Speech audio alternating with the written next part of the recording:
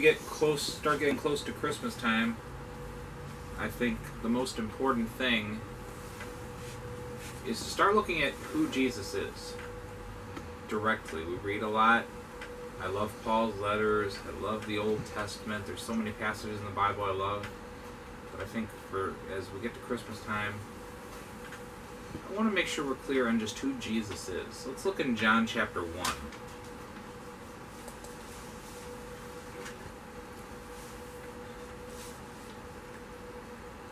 In John chapter 1, starting at the very beginning. And welcome everyone out there on YouTube. Hope and pray you'll receive a blessing from this message as well. I want to start out talking about talking about something that I didn't learn after growing up in church, growing up in a Bible teaching church. I didn't learn this until I was in high school.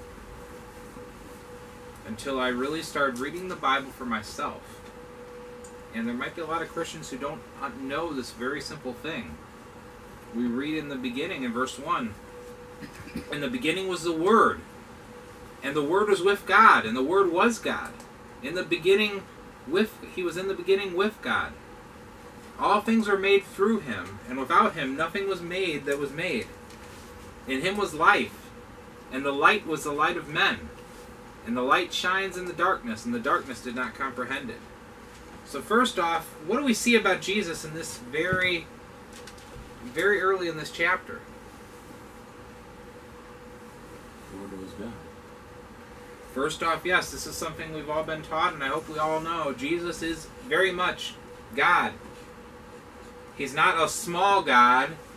He's not a different God. He is God. He was God in the flesh when he came to this earth. He wasn't diminished in his abilities at any time when they crucified him. He could have stopped him.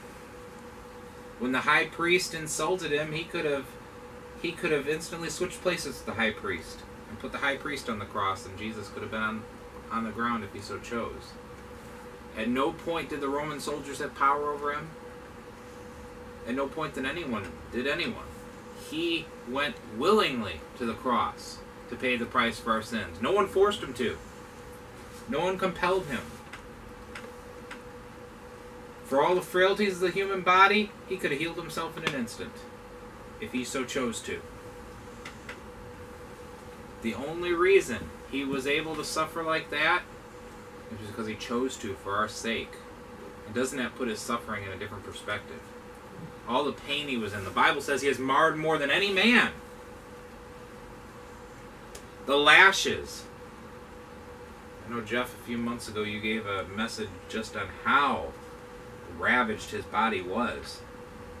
All the cuts. He was unrecognizable. And that takes even more so when he could have stopped it at any time. But he loved you so much that he wouldn't. Think about that the next time we put God on the back burner. The next time we think that, well, Jesus isn't as important as what else is going on in my life. He sure thought you were important.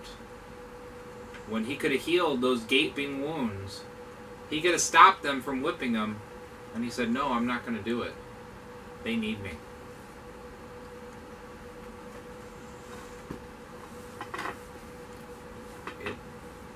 Hard to endure that kind of a beating, even harder when you can stop it at any time. And he could have stopped it at any time. He had all the powers of God. He wasn't the junior partner in the Trinity. Secondly, there's just a, a lot of gold here just in the very beginning. Secondly, where was he when creation was being was being made? right in the middle of it. Yes, he was right there. He didn't come around later. He was right there during creation. He wasn't oh, somewhere down the road God had this idea he's going to have a son. No, Jesus was there right then at creation. And furthermore, who was doing the creation? Jesus. Jesus. Puts all the more perspective on his suffering. He was getting beaten by his own creations. Everyone who was whipping him, he made that person. Everyone who was spitting at him, he made that person. Everyone who was insulting him, he made that person.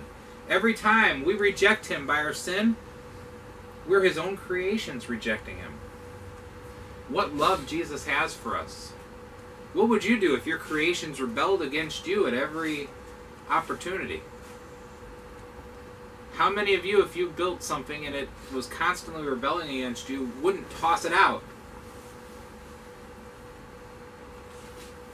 Not Jesus. He sacrifices everything for his creations. What love Jesus has for us. What mercy he has for us. He was the one who created everyone.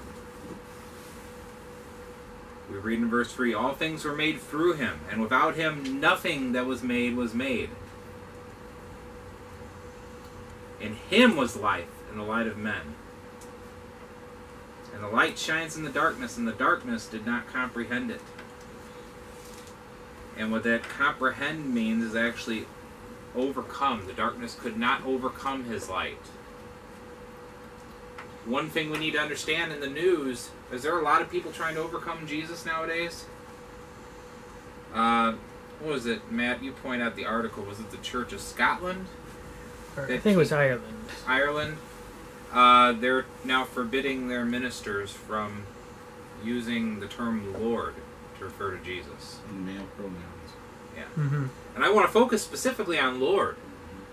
What does the Bible say about Romans 10 9 and 10 when it talks about being saved? You confess with your mouth that Jesus is Lord, and believe in your heart that Christ raised him from the dead. Darkness is trying to stop people from being saved. That's what they're trying to do. Oh, he's not your Lord. He's uh, great grandpa in the sky. No, great grandparent in the sky. No, he's more than just that. He's Lord. Capital L. What does Lord and what does Lord uh, mean? If someone is your Lord, if Michael Miller is my Lord, what does that mean I need to do when he talks? Uh, for Halo. Then I need to go play it. If he talks, if Michael Miller is my Lord, then guess what I need to do when he speaks? Listen. I need to obey. I need to listen. I need to do. The world is trying to take that away. Why is it so important to take away the lordship of Jesus? Take away the lordship. Nobody's over you. Yeah. Then you can do whatever you want. You see, there's a reason Jesus came to be our Lord. Is it because he's got a power trip? Mm. No, it's because without proper management, I will screw up 10 times out of 10. Guarantee it. If there was a chance to score up 11 times out of 10, I'd do that too. Without proper leadership and guidance and supervision, I will fail every single time.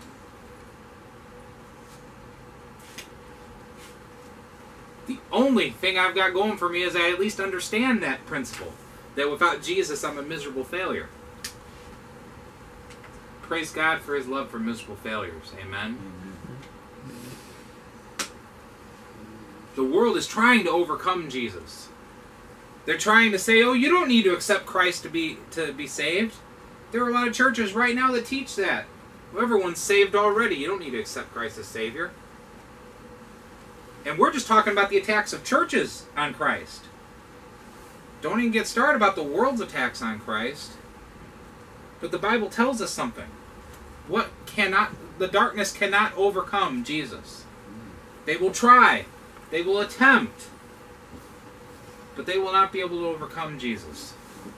People have been trying to stop the gospel from being preached ever since the gospel has, in, has existed. It's still being preached. It's being preached right here. Being preached all over the world. They will not be able to overcome. Praise God. Who's thankful for that? Amen. If if Jesus could be overcome, then none of us would be saved. Praise God that he cannot be overcome. We read a bit about John the Baptist as we go through verses 6 through 13. There was a man sent from God whose name was John. This man came for a witness to bear witness of the light, that all through him might believe. I want to talk about how important that is that God keeps sending people to minister to miserable screw ups like me. Aren't you so thankful for that?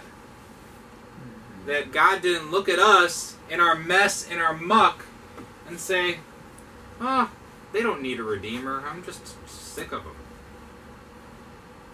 He sent someone to tell us. He could have easily said, I gave them the scriptures, I gave them the law.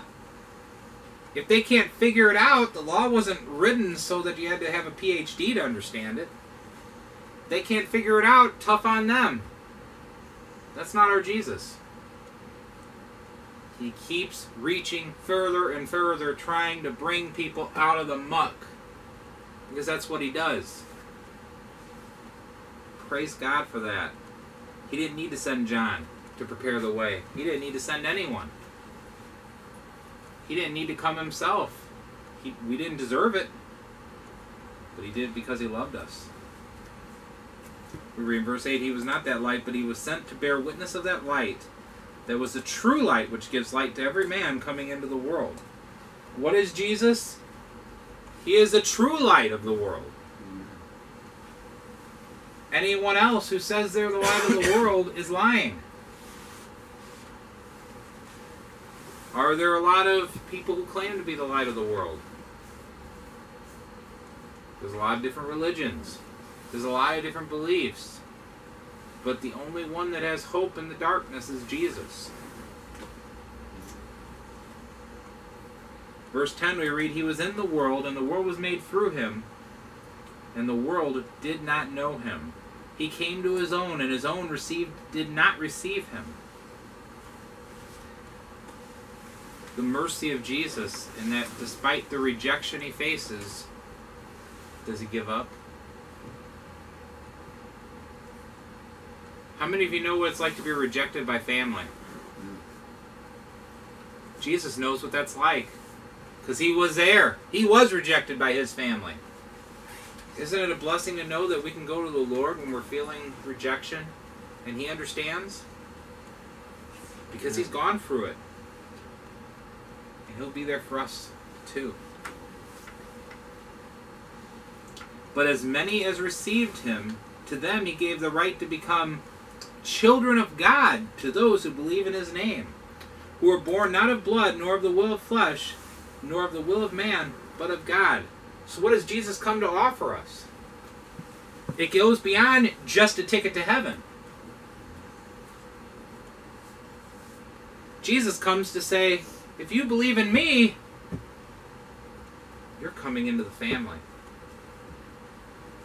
You're going to be a part of my family. What a blessing that is.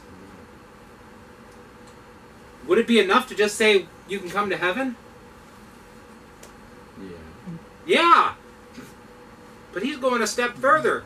We're being adopted into his own family. That's a powerful statement, being adopted into his own family. You know, when you're born into a family, you're kind of stuck with each other. You know what I mean?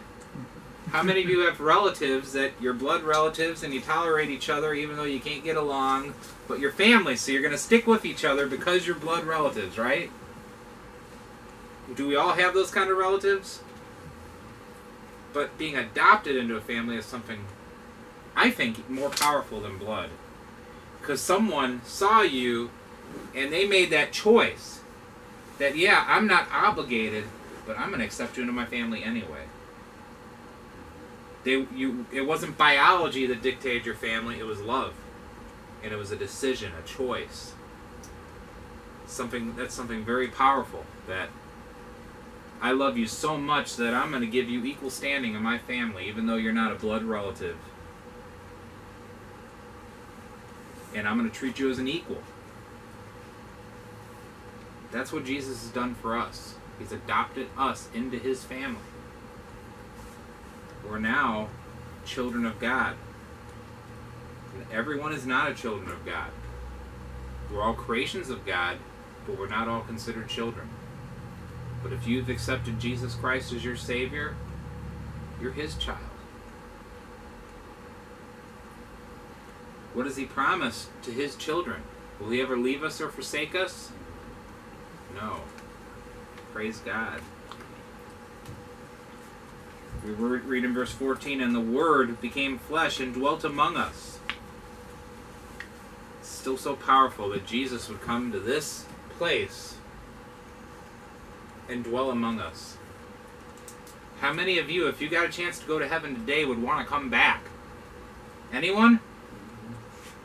Probably not. Anyone jumping at that idea? I think if we went to heaven, we'd have to get kicked out before we'd come back.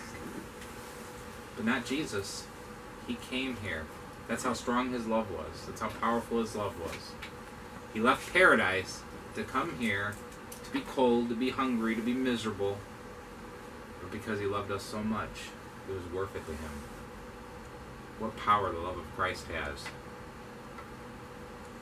That's the kind of love he wants us to have for one another. When he says love one another, that's what he means. How far are we willing to go for each other? What are we willing to do for each other? Are you praying for each other? We hear about some of the different requests here. Jeff asked everyone to pray for his son. Are we willing to do that? That's what Jesus would want us to do. Pray for him like he's our own family. Andrea talks about our moving issue. Are we praying about that like we're the ones who need a home? Uh, is that how strongly we're praying for that? It needs to be. If we're honest, are we all as strong on that as we need to be? Probably not, but we need to be. And because that's a example Jesus has shown for us, his love. We continue reading in verse 14. We beheld his glory, the glory as of the only begotten of the Father, full of grace and truth. Jesus is full of glory, we see. He's full of grace, we all know this. He's also full of truth.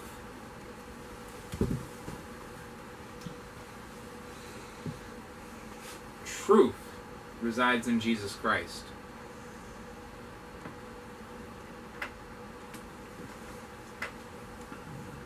He didn't just come to make us feel good. He came so we could know the truth. So we could know the right path. We live in a world that minimizes what truth is. But Jesus was full of truth. He is the truth.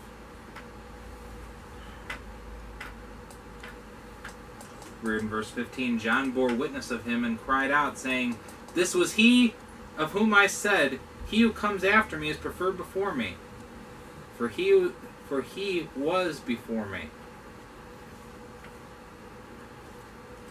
Jesus physically was younger than John the Baptist, but John knew the truth. Jesus was from the beginning of time. Jesus was there. John understood who he was. Do we understand who he was? Sometimes sometimes I see believers seem to have the attitude that he's just some guy you call up when you need something. Don't acknowledge him until you're in a jam, and then you better go to Jesus. But Jesus is our Lord and our Savior.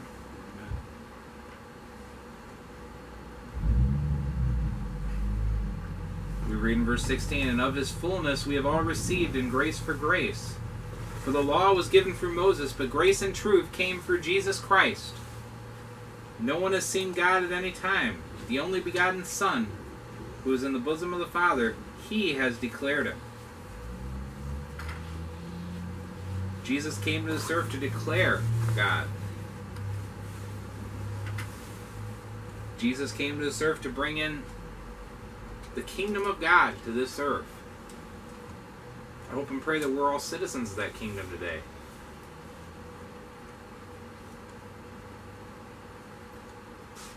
So many people nowadays have this view of Jesus as that's not full of the power that he has. People talk like uh, Jesus was just a good moral teacher. He was a lot more than that. He was God in the flesh.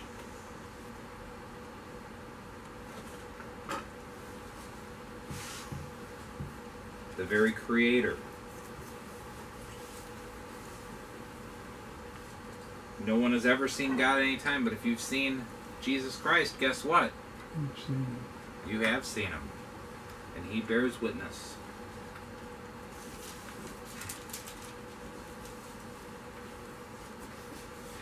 Yeah, I want to skip ahead to verse 29.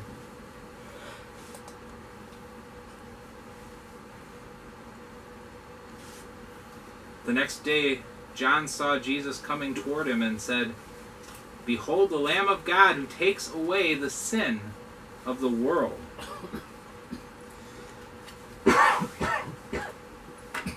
Jesus came because there's only one person who could take away our sins, and that was Him.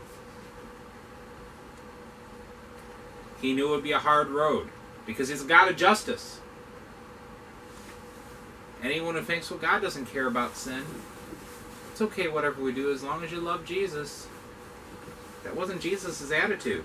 Because if that was Jesus' attitude, He has all power in heaven and earth. He could have just said, everything's forgiven. I'm throwing out the law. I'm opening up the floodgates of heaven. He could. He's God. He can do whatever he wants. But he's a just God. He doesn't go back on his word. If he said these are sins, then they're sins. But he gave us a way to be forgiven. His law still stands. It stands from age to age. It never will go away. And Jesus Christ is not going to violate his own law and say, well, that's okay. It's okay that you lied. It's okay that you gossiped. It's okay that you murdered. It's okay that you stole. That's okay. It doesn't matter. It does matter. How much does it matter to Jesus? That he went to death to pay for your sins. Picture that. If he was this God who didn't care what you did, why is he going to the death for your sins? Why not, doesn't he just give everyone a free pass? It's not that he doesn't love us because he paid the price for them. But they still the price still need to be paid, didn't it? He comes to take away the sin of the world, not to sweep it under the rug, not to ignore it, but to take it away. He wants to get the sin out. You know, Christian, when we turn back to our sins after Jesus Christ has paid the price for our sins, what we're doing is it's a slap in the face to Jesus. He paid such a high price for your sin. And it does matter to him when we sin. It hurts him. It's an offense. Praise God for his grace and mercy. He still won't take back what he did for us. No matter how bad we are, he will not take that back. But he came to take away our sins, not to just give us free reign to do whatever of no consequence. Don't use Jesus' sacrifice for a license to sin. That's an insult to Jesus and an insult to his holy name. If he didn't care what we did, then he could have did things a totally different way. He could have thrown out, out everything. He didn't do that because he's a just God. The law matters. God's word matters. Sin matters. He's a God of justice and holiness. He wants us to be set apart.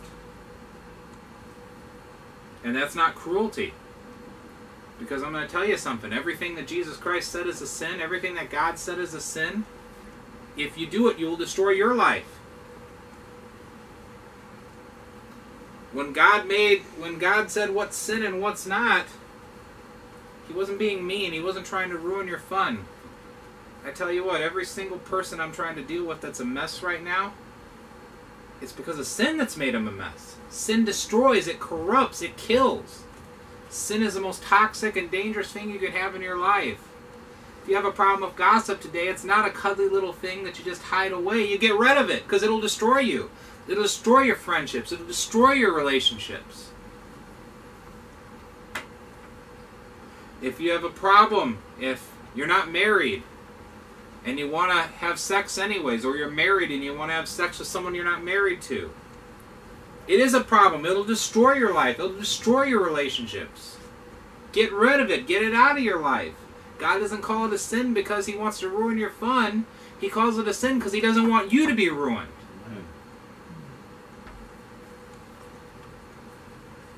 And God is not going to throw that law that was meant for our good out because He knows what we'll do if He gives us a clean slate.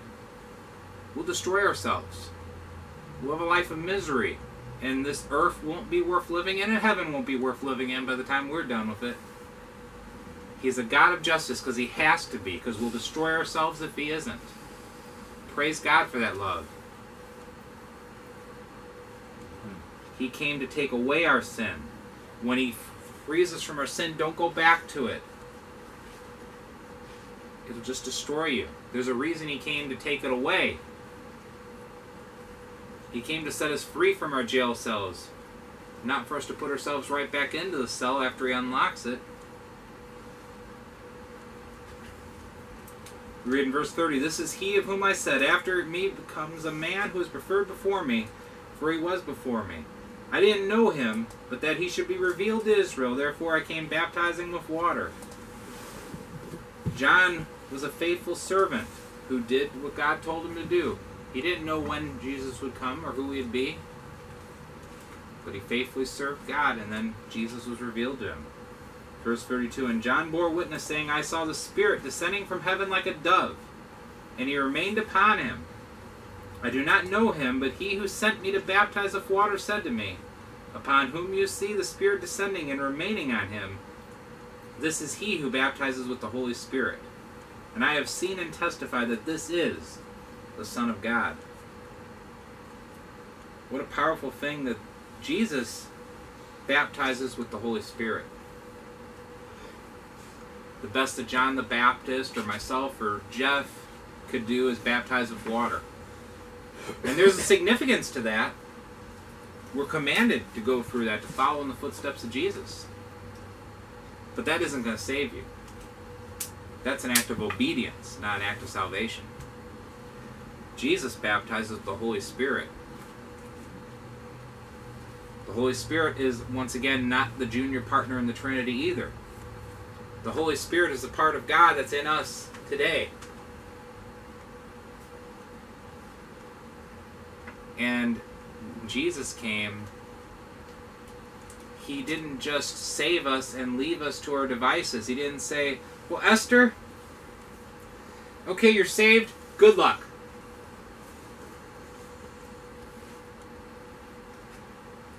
Mike, you're saved. Have fun. He baptized us the Holy Spirit. We have the Holy Spirit in us today. Because Jesus came to get rid of sin out of our lives. He came to give us life more abundant and free. And part of that is He didn't leave us alone, He didn't leave us powerless. Jesus realized that I am a miserable screw up. So he sought to Larry proof my life as much as possible by leaving the Holy Spirit. Someone, God is in me to tell me, Larry, that's a stupid idea. Larry, you need to remember what you read in the Bible the other day. Larry, this is beyond your capabilities, but I'll give you the power to do it. Praise God that we have the Holy Spirit in our lives to give us strength, to give us wisdom, sometimes to save us from ourselves. Praise God we have the Holy Spirit. Jesus didn't come to leave us alone. Because Jesus' plan for us doesn't end at salvation. And so many Christians have this idea that once you're saved, Jesus is done with you. You're saved, and that's it. That's just the beginning. Jesus left his Holy Spirit in us. He wants us to have life more abundant and free. I hope and pray we want that. So I wanted to share a bit about Jesus, and this was on my heart. Actually, there was a bunch of passages on my heart, and I kind of had to narrow it down. If I wanted to preach about Jesus, I could probably go for about five hours, but I think you guys would uh, be running out in droves by that point. All you on YouTube would be tuning me out by the five hour mark. So I'll spare you that. So let's close in prayer. Dear Jesus, I thank you so much for your love for us. Thank you so much for all you've done for us, Lord. And help us, Lord. We don't realize how precious you are. We minimize you. We don't even do it on purpose sometimes, but we let the cares and distractions of this world take our eyes off you. Help us to really take a look at just how powerful you are, all that you've done for us, all that you've sacrificed for us, Lord.